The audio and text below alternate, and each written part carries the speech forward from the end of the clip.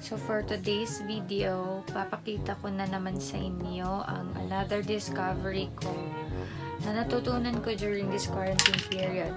Ito po ay ang pag-play ng guitar. So,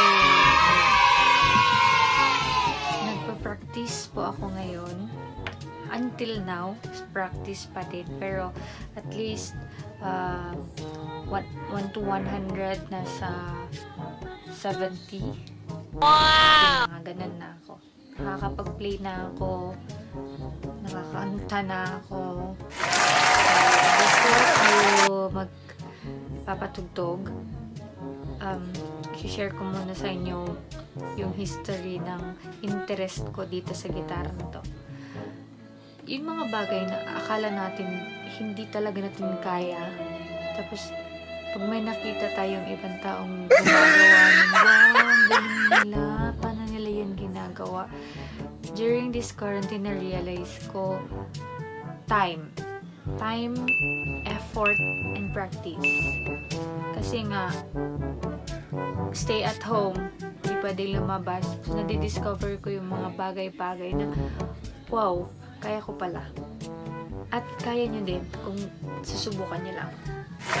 So, back when I was in college, gustong gusto kong mag-play ng guitar. I have this friend na magaling siya mag-gitara. May gitara din siya. In-encourage niya akong mag-practice. Tinatry ko naman, pero hindi ko alam kung bakit hindi talaga ako natuto nung time na yun. Tapos may high school friend pa ako na tinuruan niya ako. Wala pa din, kumakanta na lang ako. Hindi ko, hindi ko natutunan kung paano i-play.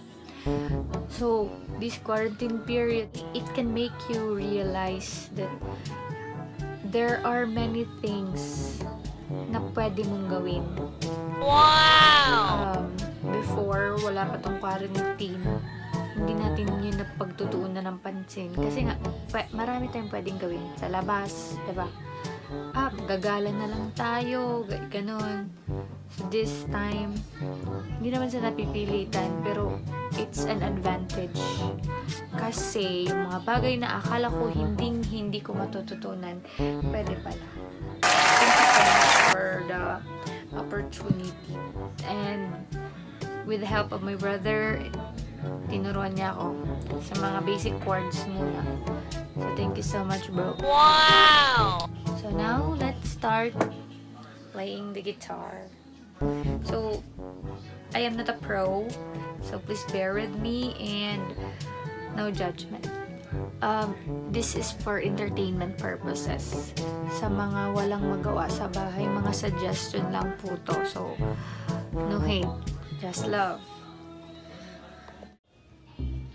So, by the way, mga kanta pa lang pinili kong uh, pagtuunan ng pansin ay yung mga kantang gusto ko para naman while playing nakakakanta din. Wow! So, timing na yung mga kantang gusto ko ay mga basic chords lang din yung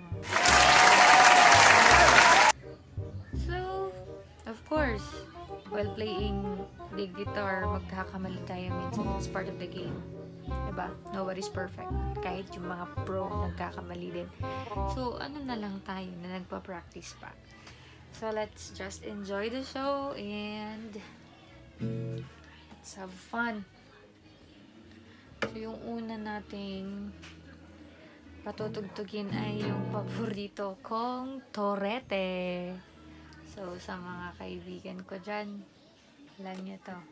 May gustong gustong gustong gusto ko to. Okay.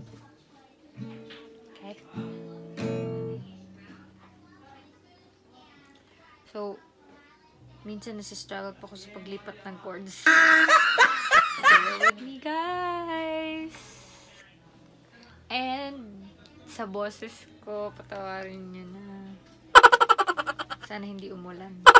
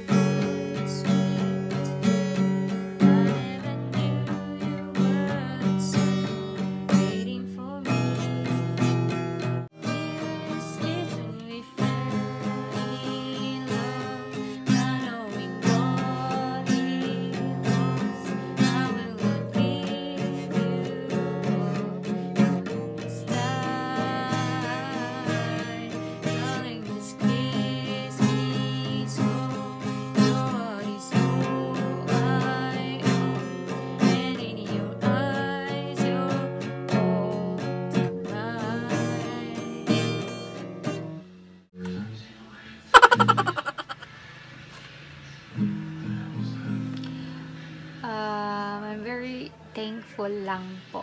Kasi ang dami kong natutunan this quarantine period. So, very grateful and thankful na aside from safe kami, in good health.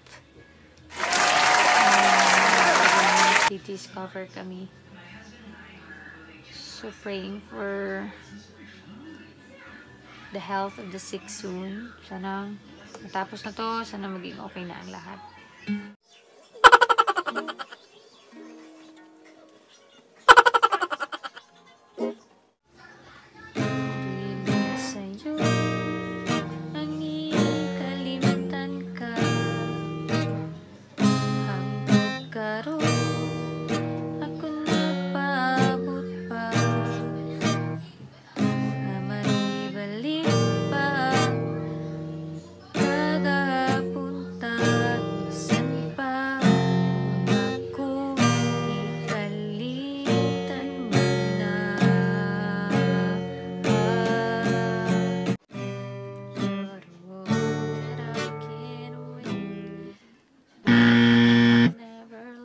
Lets me sleep.